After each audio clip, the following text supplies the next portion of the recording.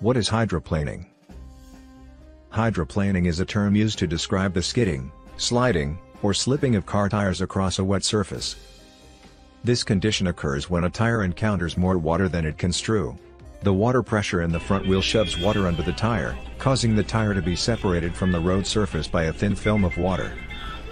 This action makes it lose traction or grip resulting in loss of steering, power control, and braking. What does hydroplaning mean in driving? Before we dive in quickly click on the subscribe button, like and share we'll be back after the break.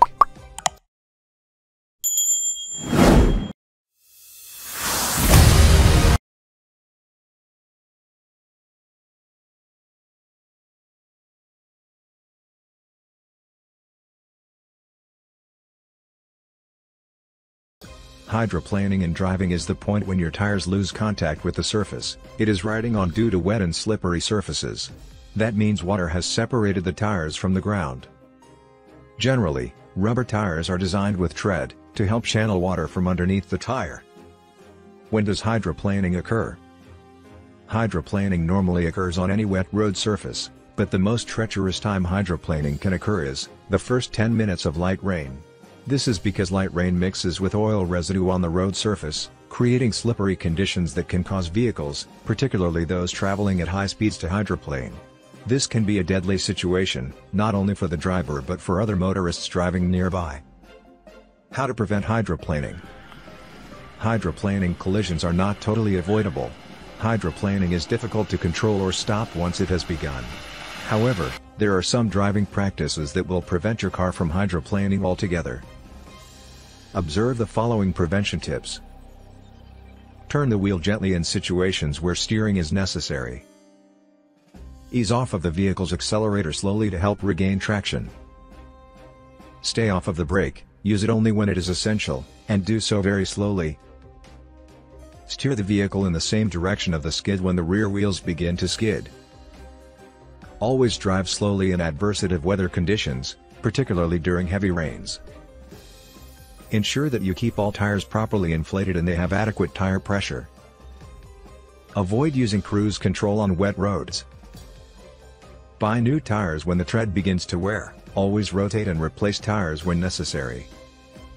Slow down when roads are wet because your tires may find it more difficult to scatter the water if you drive faster. Avoid puddles and standing water when driving in wet conditions. Avoid driving in outer lanes because the water tends to accumulate more in these areas. If possible, drive in the tire tracks left by the cars in front of you. Drive in a lower gear, Avoid hard braking. Turn off cruise control. Avoid making sharp or quick turns. What to do if you hydroplane. The imperative thing to remember is never to panic when your car hydroplanes. Avoid applying the brake or accelerating suddenly. Hydroplaning is a loss of traction to the front tires, therefore sudden braking slows the front tires but locks the rear tires. This can result in a spin-out. Accelerating suddenly can also pull the vehicle straight ahead, which could be risky if the vehicle is pointed toward the edge of the road. Does hydroplaning damage your car? How does it do that? Hydroplaning can cause major damage to the engine of your car. Driving through puddles, particularly ones that are more than a few inches deep may cause damage to the car's engine. When rain keeps on pouring, the risk of flooding is rife and more puddles keep appearing on the roads, this can increase the risks of hydroplaning-related accidents on roads. Apparently, motors such as 4x4s, are better fortified to tackle puddles on roads, but not smaller cars. Does insurance cover hydroplaning accidents? If you are in an accident with another vehicle, your collision coverage on your car insurance covers you from a loss.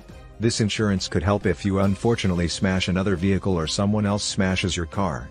Your insurance can also cover hydroplaning accidents.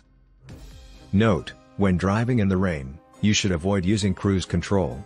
This because if your car is set on cruise control, it can cause your vehicle to accelerate when you encounter a deep puddle. Don't forget to click on the subscribe button, like, and share for more videos.